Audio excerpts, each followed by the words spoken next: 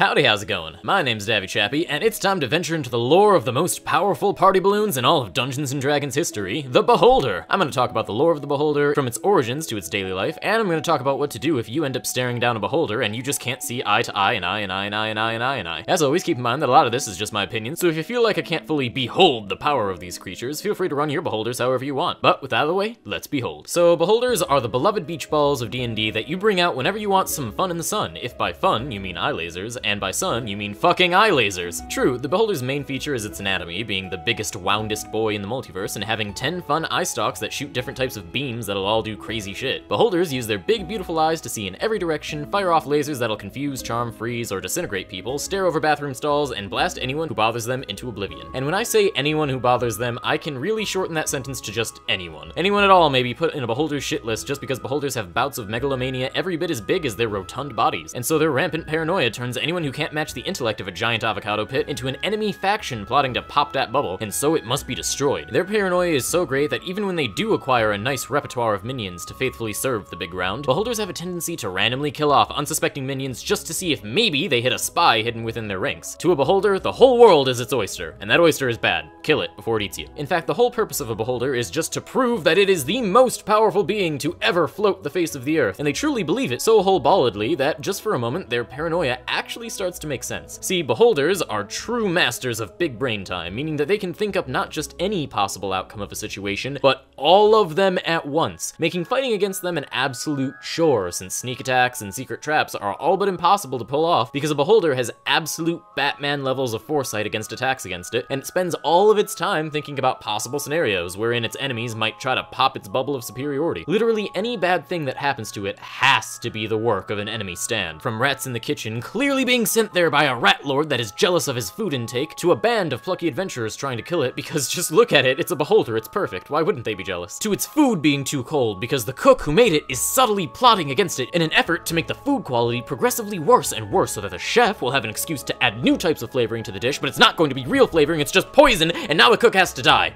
It's because of this thought process that beholders have to charm their minions into serving them, because people don't appreciate being disintegrated normally, and beholders find that as proof of their guilt. The mind of a beholder is so powerful, in fact, that it's actually what led to beholders being created in the first place. Now, no one's really sure where the very first ones came from, but what is known is that when a beholder goes to sleep, its mind going dormant while its eye stalks continue to scout the world to ensure maximum awareness against assassins, that beholder may dream of the concept of what a beholder is meant to be. It dreams of perfection given boisterous, wobbly form, and the mere act of a beholder subconsciously thinking of a perfect being that isn't itself creates a fold in the material world. That fold manifests itself with big brain energy of its own, and out pops a new beholder. Such a thing happening is rare, but when it does happen, both beholders look at each other for a quick moment, making direct eyes contact before they both attack each other with the force of a thousand beams. Now, in most cases, this leads to a stalemate, as the main eye of a beholder is an anti-magic field, so literally all of their beams are useless, and they have no choice but to just float there like a couple of chuckleheads until they either leave on mutual mutually displeased terms, or they ram into each other and start biting. But depending on the type of dream that the beholder is having, the species of beholder that's brought into the world might be a little different than normal. For instance, if the beholder was dreaming of blood during its aforementioned folding of space, then the creature created won't be your average run-of-the-mill soccer ball, it will instead be a death kiss that constantly looks to drain everyone's blood so that it will never run out of its own. A beholder that has its mind addled may dream up a tiny little gazer that could be then kept as a pet, and even gauths and spectators come from other planes of existence where the idea of a beholder is alien to even, well, aliens. Finally, if a beholder manages to live an exorbitant amount of time and spends enough of that time speculating on the concept of its own death, then that beholder has a chance of shaking its normal basketball-y shackles and evolving into a greater form, a moldy undead basketball that is way harder to kill and yet still fears Michael Jordan. And that leads us to the most important bit of this whole guide, the part that you would-be Spedungeoners will need if there's ever a time that you come in contact with the Eye of the Beholders, and that is tactics to survive the ball game. So, picture this with me for a moment. You messed up. You somehow got roped into a plot to defeat a beholder, or maybe you just ended up on the wrong side of the eyelashes, and now it wants you dead for one reason or all the others. In either case, your options depend largely on the situation at hand. First off, you can run.